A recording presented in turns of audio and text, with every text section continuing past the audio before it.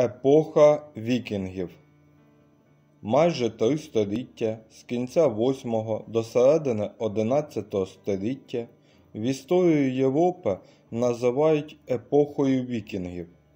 У той час германські племена, які жили на півночі Європи, рушили на завоювання нових земель. У країнах Європи їх називали норманами, північними людьми. Нормани це стародавні скандинави, предки сучасних норвежців, шведів, данців та ісландців.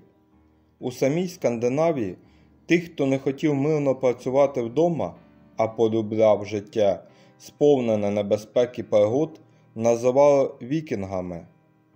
Балтійським морем і далі Західною двіною вони діставалися до земель, заселених східними слов'янами, де їх називали варягами. Походи вікінгів вважають останньою хвилею великого переселення народів.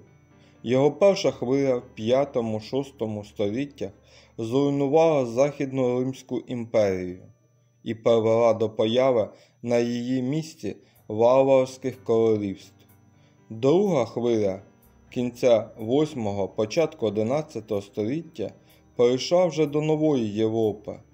Вікінги, однак, не змогли зруйнувати її, а пристосувалися до неї, запозичивши традиції та порядки феодальної Європи.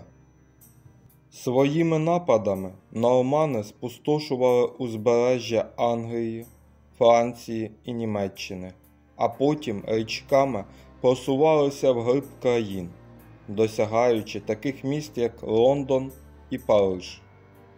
Спочатку, захопивши здобич, нормани поверталися додому. З часом вони стали захоплювати прибережні райони і селитися там.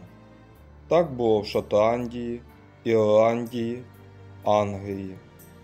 На початку X століття французький король вимушений був надати норманам чималі володіння на півночі країни. Так виникло герцогство Нормандія. Пізніше, у XI столітті, вихідці з Нормандії підкорили всю південну Італію і Сицилію, створивши там свої князівства.